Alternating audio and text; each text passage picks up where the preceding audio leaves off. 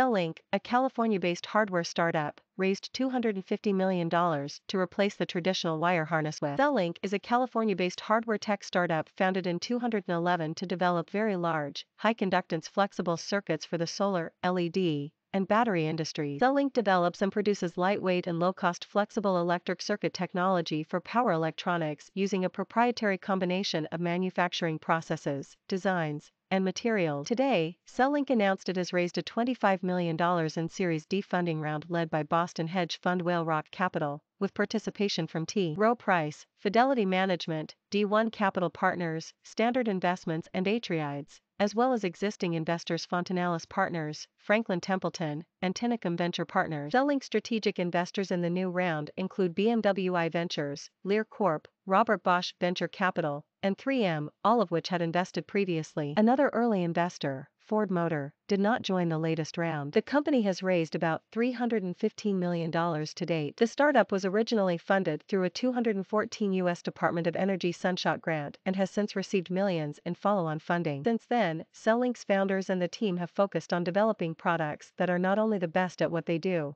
but that provides for a more sustainable future. For vehicle wiring, CelLink's technology can provide up to 7% weight reduction and up to 9% volume reduction by replacing round wire bundles with flat flexible circuit. One application of CelLink's technology is being deployed in electric vehicle battery packs that house a bank of cells together with hundreds of parts and connections. CelLink's solution also integrates busing, fusing, voltage monitoring, and temperature monitoring wiring systems into a single circuit, an important feature that is reducing the cost of battery battery technologies and increasing the rate of adoption of EVs. Founded in 2011 by Kevin Coakley and Malcolm Brown, and joined in 2015 by Bruce Graham, the San Carlos, California-based CelLink has developed a new method of connecting battery cells and packs, and transferring power and data across vehicle sensors, modules, and electronic control units, according to the company. CelLink has been scaling up production of its lightweight flexible circuits since 2019. CelLink said the funding proceeds will be used to build a factory in Georgetown, Texas, that will open later this year. We are building a 25-line factory and all those lines are spoken for, Coakley said. We're in hundreds of thousands of electric vehicles now, Coakley said in an interview.